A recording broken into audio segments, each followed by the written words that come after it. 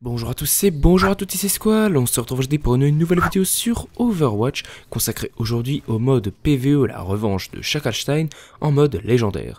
Aujourd'hui je vais vous présenter une petite stratégie pour vaincre ce mode de jeu, en tout cas c'est une stratégie que j'estime être très efficace, je vais vous expliquer le pourquoi du comment de tout ce que je fais ou tout ce que je vous conseille de faire, et donc j'espère qu'après ça tout simplement vous allez pouvoir vaincre ce mode de jeu.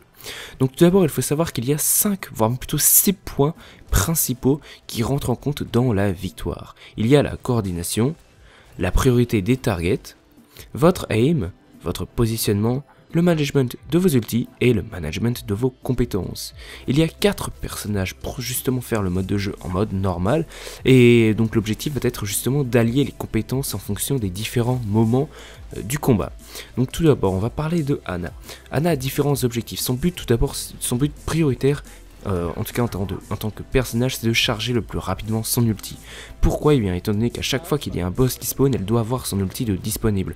Du coup, vous devez tout le temps heal vos alliés, Petite recommandation, faites-les appuyer sur la touche qui leur fait demander du heal lorsqu'ils ont besoin de soins. Personnellement, lorsque je joue avec des amis, je fais plus attention au DPS qu'au heal, du coup je leur dis, si vous avez besoin de soins, vous appuyez sur la touche, j'ai une notification et là je me retourne pour les heals. Pourquoi je priorise le DPS C'est tout simplement que ça me permet de charger plus rapidement l'ulti. Cependant, il faut toujours faire très attention, si vous n'êtes pas en team et que vous avez donc une coordination qui est plus faible, faites toujours toujours très attention au heal. Mais si vous êtes en team, vous pouvez tout simplement demander aux gens de presser la touche pour euh, demander du soin lorsqu'ils en ont besoin, même s'il leur manque qu'un seul PV, ça leur évitera de mourir et ça vous permettra de vous concentrer un petit peu plus sur votre aim et sur votre capacité à charger vos compétences. Il faut savoir qu'elle a deux rôles principaux en plus justement de charger sa compétence, c'est d'endormir les différents boss, il s'agit du boss Reaper et du boss euh, Rodog, donc la créature de Schackelstein. À chaque fois qu'elle spawn, elle doit avoir son slip de disponible, du coup il faut manager cette compétence, l'utiliser uniquement, et je dis bien uniquement, sur les boss, et également elle doit combiner son ulti avec l'ulti de Macri. Pourquoi? Eh bien étant donné que son ulti va être combiné à l'ulti de Macri, ça va faire des dégâts monstrueux. À Reaper, ça va presque le one shot, pareil pour la créature de Schackelstein, et lorsque Merci Schackelstein est justement euh, le petit boss respawn, donc euh, la créature de Schackelstein, vous pouvez en faisant ce combo d'ulti les défoncer très facilement. Il faut savoir que L'ulti d'Anna doit être uniquement, et je dis bien uniquement, combiné avec l'ulti de Macri pour faire littéralement mouche. Il faut savoir que dans tous les précédents modes de jeu, lorsque vous combinez les, les deux ultis au bon moment, vous pouvez one-shot quasiment tous les boss. Ensuite, nous pouvons parler donc de Macri. Son objectif va être de euh, tuer un maximum d'Omniac et d'Omniac bombardés de par, le fait qu'il a des dégâts très élevés également à distance. Il doit donc avoir une très bonne précision et faire énormément de coups critiques. Selon moi, une bonne moyenne de coups critiques à la fin d'un mode de jeu, c'est à peu près 80. C'est à partir de ce moment-là qu'on commence vraiment à bien toucher, selon moi en tout cas pour ce mode de jeu, étant donné que les ennemis, même en mode légendaire, ne bougent pas énormément. Et il doit, euh, par rapport à toutes ces coups coup critique, ne manager aucune compétence. C'est-à-dire que il, euh, il, peut utiliser sa grenade sur n'importe quel ennemi, il peut utiliser sa roulade pour escape, il doit peut-être même un petit peu manager sa roulade, c'est-à-dire essayer de conserver sa roulade pour escape au mieux, voire même peut-être pour recharger instantanément pour faire plus de DPS.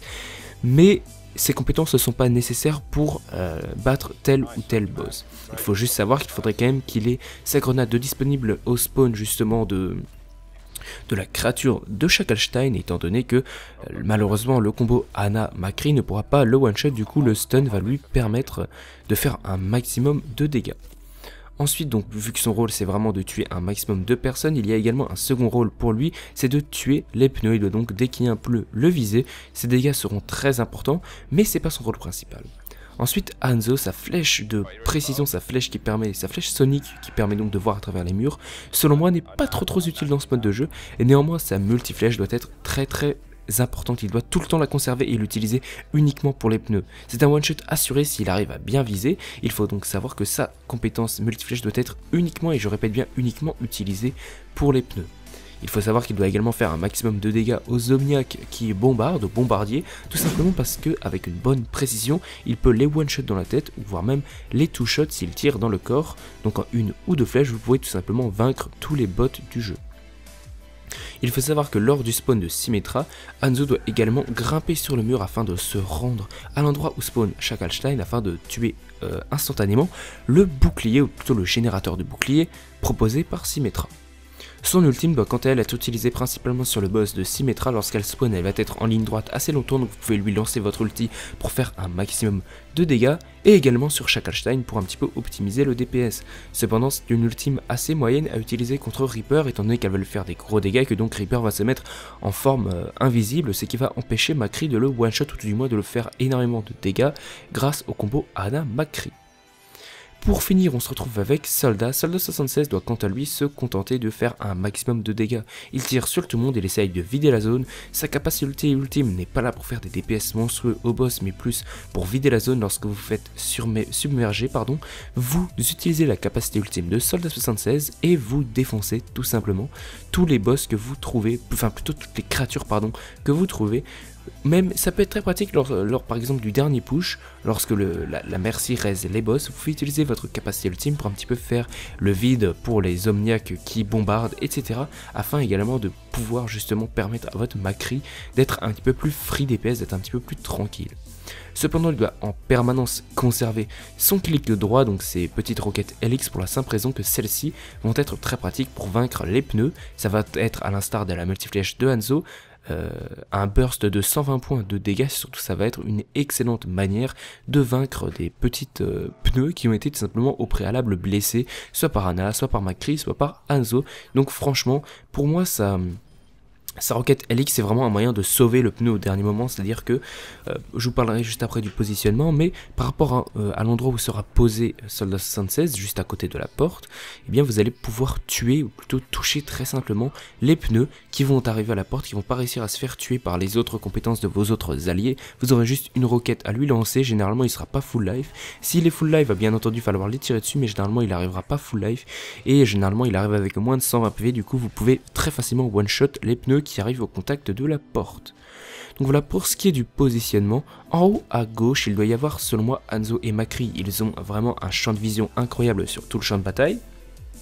Le côté gauche et le côté du milieu peuvent être occupés par eux, du coup ça permet vraiment de ne pas se faire submerger étant donné que le flanc gauche sera en permanence occupé.